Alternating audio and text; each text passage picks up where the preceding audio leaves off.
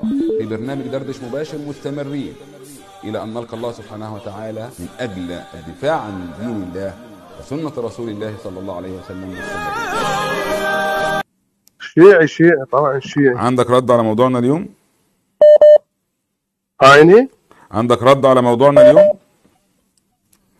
موضوع إنه الشيعة ليش ما عندهم صحيح؟ لا موضوعنا اليوم كيف يتناقض الخوئي مع نفسه في التصحيح والتضعيف للروايات كيف يصبح مرجعا واختلف مع نفسه أكثر من 13 موضع بس في التصحيح والتضعيف لشخص واحد ها وهذا شيء يدل يدل على ماذا؟ على أنه متناقض والله حضرتك لما أجي أقول لك حضرتك حلو ومسكر زين سؤال سؤال مثلا اسمع آه، بس اسمع أقول لك. اسمع ثم تحدث إيه، لما أجي أقول لحضرتك انت إيه، راجل إيه. حلو ومسكر وفي نفس الك... وبعد دقيقة أقول لك أنت راجل مر وحنظل تمام؟ يعني أنا متناقض كده ولا أنا متساوي كده في الكلام يعني؟ آه، أنت تفهم هذا الشيء متناقض. أنا لم أقف على هذا الشيء. لا. قد يكون إنه لا أصبح قد عنده مثلا آه، اسمع بس, اسمع بس مش قد يكون. اسمع. مش قد يكون. قد يكون دي لا تتكلم لا لا أنا اسمع اسمع. اسمع توجيه الكلام. آه اتفضل. أشرف اسمع توجيه الكلام. اسمع توجيه الكلام وبعد ذلك ممكن إنه اتفضل. تعلق اتفضل. آه، مثلا كثير من المحدثين مثلا ترجموا لشخص معين في وقت سابق بعد ذلك أصبح تحديث على هذا المعلومة وصلت مثلا أخبار أخرى أو توثيقات أخرى أو تضعيفات أخرى بالمصادر أخرى. وهذا ما وقع فيه أيضا ال- الألباني في كتاب في كتابه الضعفاء والصحيح وغيره من كتبه. وقد استخرج السيد حسن السقاف أربع أجزاء أربع مجلدات سماها تناقضات الواضحات للالباني إنه ما شاء الله آه، على فكرة على فكرة على يضع- على فكرة يضعف. على فكرة خل- اسمع بس أكمل، الله يخليك. بس قبل ما تكمل أكمل قبل ما تكمل قبل ما. تكمل قبل ما تكمل عندما إيه آه، تتحدث عما تتحدث عنه في علم الحديث أو في علم الرجال يوضح المحدث سبب أو الأسباب التي جعلته يترك هذا الرجل تمام في آه، التوثيق أو التضعيف. زي مثلا يقول لك إيه؟ أشرف غريب ثقة. ثم بعد ذلك يقول لك أشرف غريب ضعيف. إذا قال لك أشرف غريب ضعيف يقول لك لأنه بعد سن الأربعين عاما اختلط عليه بسبب مرض أصاب عقله فأصبح يعنعن أو يدلس في الرواية. وفي بالتالي في الحقبة الزمنية الأولى كان حافظا في الحقبة الزمنية الثانية كان مختلطا عليه. ده في علم الحديث يا حبيبي. تمام؟ لكن أنا بكلمك عن رجل لقطه لا. إذا اسمع بس. أنا هتتكلم معايا هنتكلم. في المصادر الآن. الآن عندك رد على الخوئي. اولا قبل ما تتجه للألباني وغير الألباني. أنا بسألك في الخوئي عندما يختلف في 13 موضع مع نفسي هذا أنا يا عم اسمع. إيه اسمع ثم تكلم. إيه ثم بعد ذلك يلقب بمرجع. أعلى ثم. يلقب بزعيم الحوزات العلمية ثم يلقب بعد ذلك بأنه صاحب ال- العلمية الأولى في في في في بلاد الرافدين. حضرتك الآن كمثال عندي اسم واحد جعفر بن محمد بن حكيم. لم يقل الخوئي فيه ظهر إلينا ولكن قال هذا ضعيف. بعد ذلك قال وعندي ثقة. قال بعد ذلك وعندي ضعيف. كيف يقول؟ عندي ثقة وفي نفس الكتاب يقول وعندي ضعيف. رد علي. اولا أنا أراجع هذا ما قلته. طيب، هذا من جهة. لكن أنا ج- بس لسه هتراجع؟ راجع وتعالى كلمنا.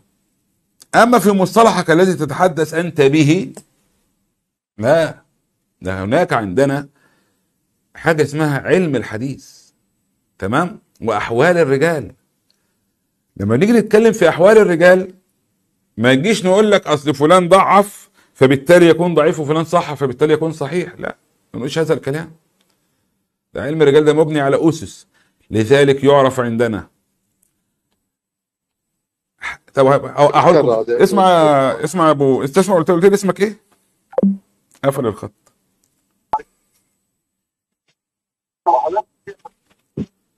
السلام عليكم. ألو السلام عليكم. ألو؟ السلام عليكم. تسمعني؟ اسمك إيه يا فندم؟ آه. إيه، أبو محمد من العراق. بص يا أبو آه، محمد. غلقت التليفون وما سمعت ردي. بص يا أبو محمد إيه. أنا بسمع ردك بس عشان نتكلم عند أهل السنة عندنا مقياس في علم الرجال. نعم.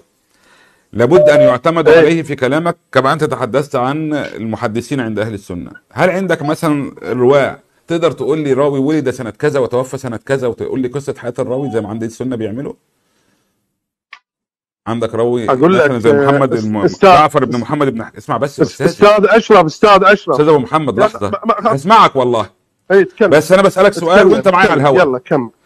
عندك راوي مثلا زي إيه. محمد ابن مح... آه، جعفر ابن محمد ابن حكيم. تقدر تقول لي ولد سنة كام؟ لا ما أعرف ما عندي خلفيه عنه بس أنا جاي أحكي لك طيب. بصوره بقواعد عامة. طب القواعد العامه اسمعني. القواعد. العامة عند أهل السنة؟ إيه، اسمع من يمي. يا أخي أنت ليش ما تسمع لي؟ هسمع. لا أنت اسمع مني يا أخي. القواعد. العامة عند اسمع من يمي يا عم اسمعني واتكلم. أعطيني با القواعد العامة عند أهل السنة في. في المحدثين يعرف سنة ولادة الراوي وسنة وفاة الراوي وحياة الراوي. تمام؟ عشان لما يجي يضعفه في أول حياته أو يوثقه في نص حياته أو يضعفه في آخر حياته بيعتمد على ما مر به من أحداث عند الراوي. هل عند الشيعة عشر رواة ولد سنة كذا وعاش في كذا وتوفى سنة كذا؟ عشر رواة بس من رواة الشيعة تقدر تطلعهم؟ نعم نعم أستطيع أستطيع. الموسوعة مال موسوعة ال- قول لي اسم الموسوعة. آه، رجال معجم رجال. اي اي اسمعني معجم رجال السيد القاسم أبو القاسم الخوئي معجم رجال السيد بحر العلوم. رجال. اسمع لي اسمع لي الحديث يا. هنطلع دلوقتي على أخي الهوا اسمعني. على الهوا على الهوا. معجم رجال الحديث للخوئي اي اسمح لي. اسمع اس- بس اسمع اسمع اسمع. اسمع. أنا بطلع للناس على الهوا عشان تشوف. حضرتك بتقول في معجم رجال الحديث الخوي مكتوب أحوال الرواه وسنة الولادة وسنة الوفاة وسنة الطلاق وسنة الجواز. تمام؟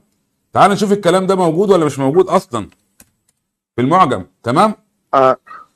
هنجيب مثلا انت إيه؟ أنت ليش ما يا أستاذنا. يا أخي أعطيني مجال أديك المجال والله بس شوف كلامك. صح ولا غلط أستاذنا أنت ما جاي تعطيني المجال تقول لي راح أكمل وما تعطي قول لي أنت اسم من بدات المداخلة إلى نهايه قول لي اسم راوي من الرواه في معجم رجال الحديث للخوي عشان نكتبه ونطلع سنة ولادته ووفاه وحياته. يلا اسم راوي إيه تحب تختاره؟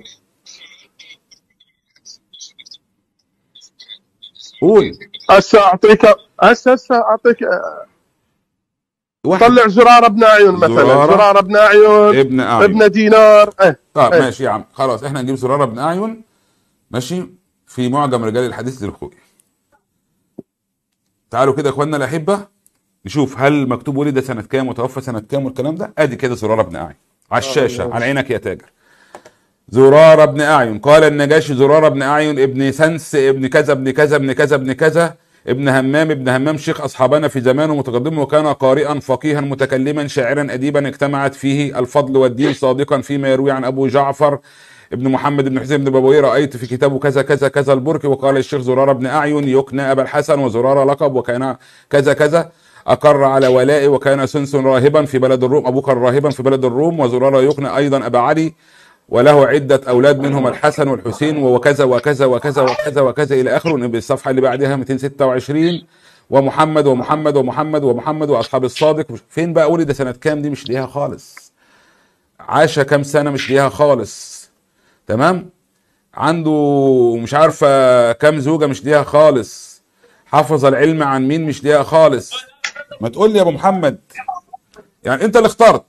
وطلعنا قدام الناس من معجم رجال الحديث للخوف. أنا سامعك والله وهسمعك أنا سامعك وهسمعك أين؟ ثم أنت اختار لي اخترت لي راوي لعنه الإمام. تمام؟ ولكن أنا تمشيت معاك. ممكن تقول لي ولد سنة كام زرارة؟ نعم. أنت قول لي ولد سنة كام اتفضل.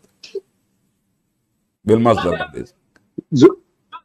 ما يخالف ثواني أبقى معي ثواني من معجم رجال الحديث ها؟ ابن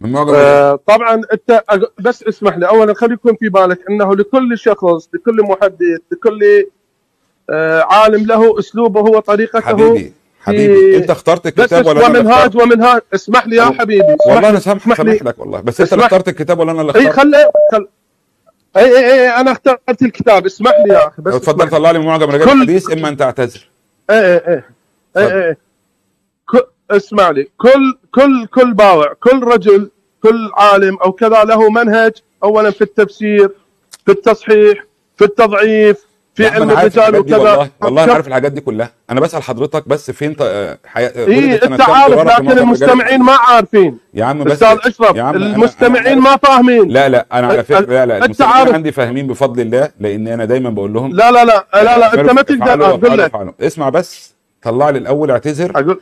إنك كذبت على معجم رجال الحديث للقوي وقلت أن فيه سنة ولاده زراره اتفضل. أقول لك أقول لك. هذا أسلوب يا شاذ. شنو اعتذر؟ إني كذبت إني كذا.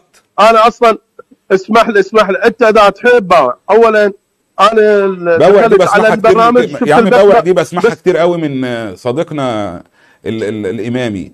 وأنت شغال معاه ولا حاجة؟ لا لا لا لا لا أعرف الإمامي ولا أعرف الجعفر طيب. ولا شيء. أنا طيب. شفتك على البث المباشر و... وحبيت أداخلك. طب. بس أنت ما تعطي أنا هديك المجال مجال. بس أنت ما تعرفنيش أول مرة تشوفني شكل حضرتك أول مرة تشوفني صح؟ لا لا لا لا شايفك شايفك على يعني حضرتك اليوتيوب. عارف إن أنا راجل ما بتحدثش إلا بمصدر ودليل. حضرتك قلت زوج لا لا مو لما سألتك عن توثيق الراوي وحياة الراوي وسنة ولادة الراوي قلت لي عندي معجم رجال الحديث فيه. فتحنا اخترت اسم أنت حضرتك اخترت زرارة. حضرتك فين زرارة؟ ذكر سنة ولادته في معجم رجال الحديث؟